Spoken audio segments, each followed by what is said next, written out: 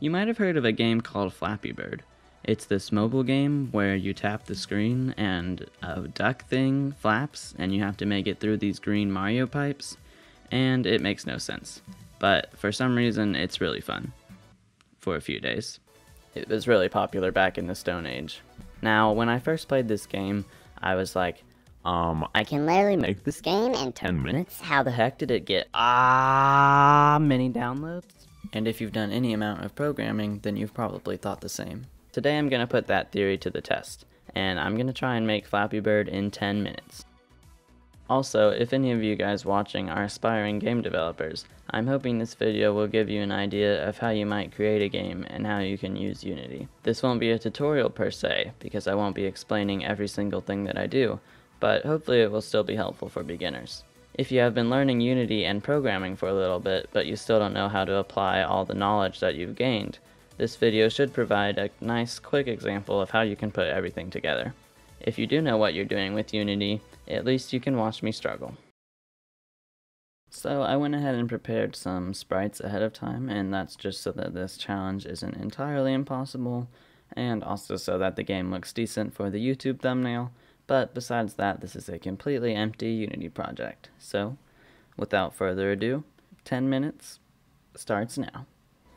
Alright, the first thing I'm going to do is drag in some of our sprites that I made, and I'm going to reorder it a bit so that things are appearing in the right order. We're going to resize ground here and move it down, and we've got a nice looking ground. And same thing with the bushes. Now let's move our background up and just like that everything is looking nice and pretty. Now we're gonna jump in our egg and you might be wondering why we have an egg. And to that I would answer I don't know how to draw a bird.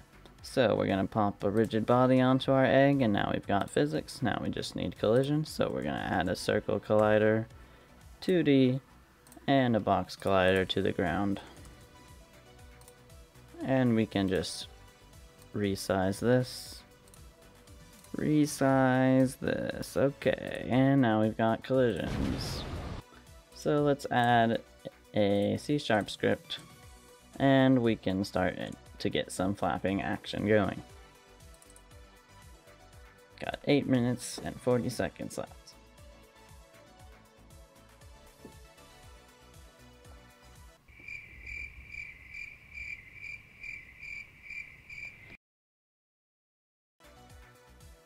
Half the game is done.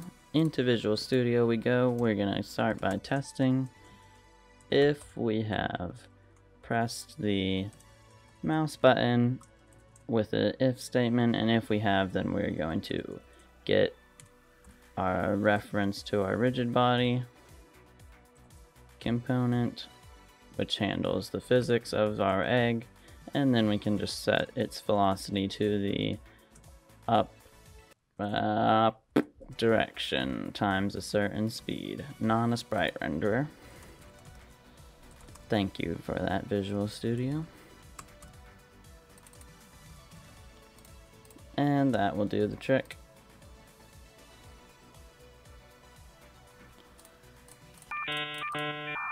We need to add our egg script to the egg and specify the jump speed Alright, look at that. So we're looking a little bit floaty, so let's just increase the gravity scale. And now it is looking excellent. Haha. okay. Now we need to get some obstacles in here. So I'm going to drag out a building. I'm going to scale it up a bit. And reorder it. Now we have a building. I'm going to move it down. And I'm going to go ahead and add a box collider and we're gonna do a lot of resizing here. That's looking good. Let's duplicate this. Before we do that I'm gonna add a tag so we can use that later.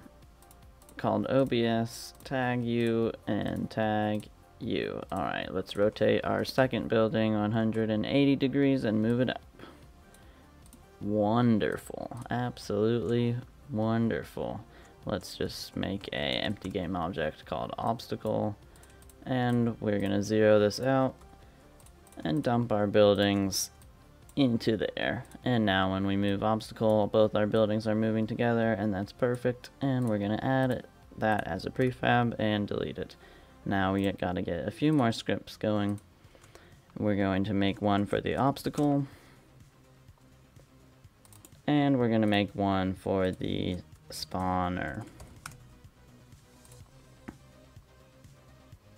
Speaking of spawner, let's go ahead and make another empty game object called spawner we're gonna move this to the right.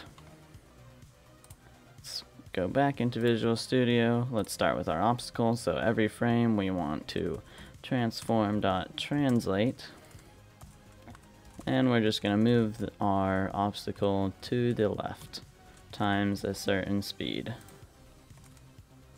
which we can make a public variable for so we can change it in the inspector like normal.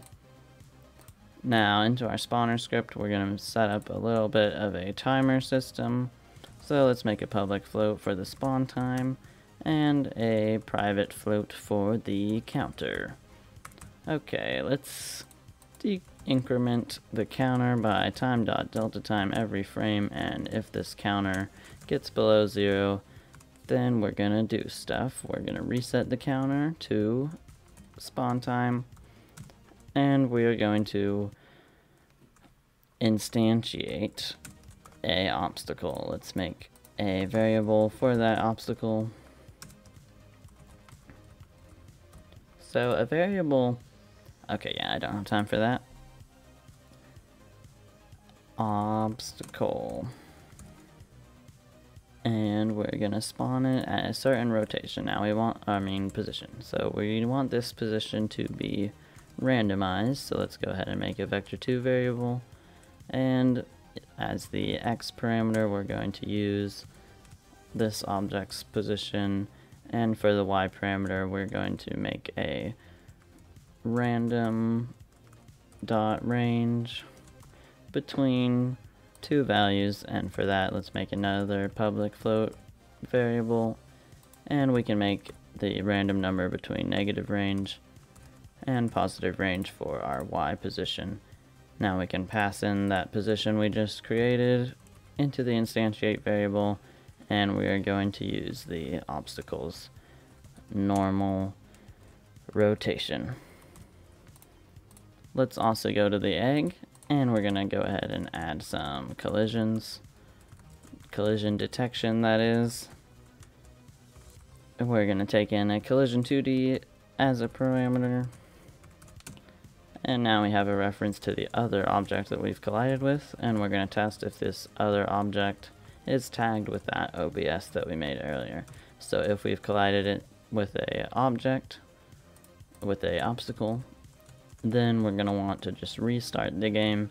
So we're going to need scene management for that. And we're just going to load in the first scene once again. Looks like we forgot a semicolon. Of course we did. Right here. Don't forget your semicolons. Got 2 minutes and 30 seconds left. Let's see what is happening. Nothing. Cool. That's fine. That is fine. We did not add any of our scripts, so that is mistake number one. Let's just set our spawn time and set our obstacle variable to the prefab later, and we're going to need to set the speed of our obstacle to something like that. Let's go ahead and make sure that we multiply this by time.delta time and we're going to go ahead and need a bigger value for that. Let's hit play. Let's see what's happening. We've got obstacles that are coming extremely slowly.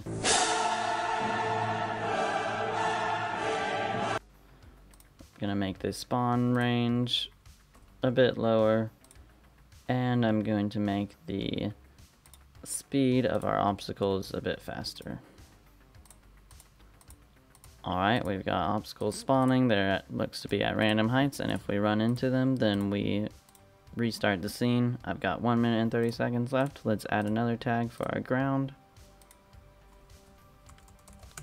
And let's hop into Visual Studio Code, and we're gonna add a another condition here. We'll use this handy OR symbol, and we're gonna check if we have collided with the ground. And if we have, then we will also restart the scene. Alright. We are restarting.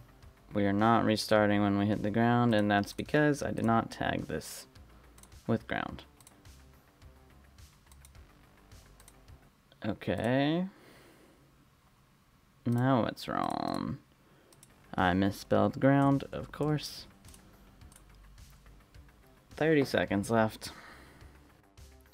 And I think we're gonna call this a day. Let's see if it actually works. We can flap our egg. The buildings are at random heights.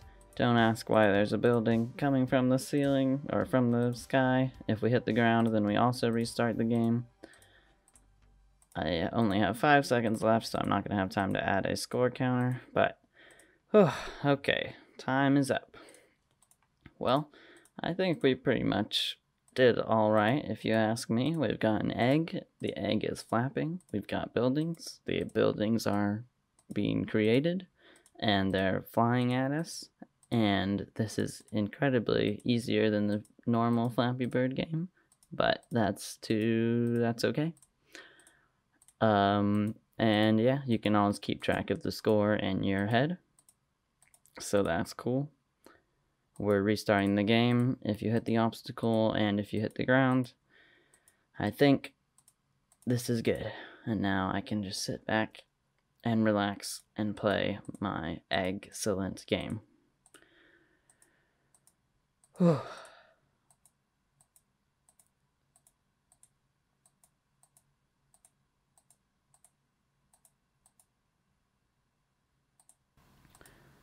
So if you liked this video, let me know if I should do more in the future and what games I should make next. In 10 minutes, Titanfall 2 is on the list, so stay tuned for that. And yeah, let me know if you liked this format. Thanks, and goodbye.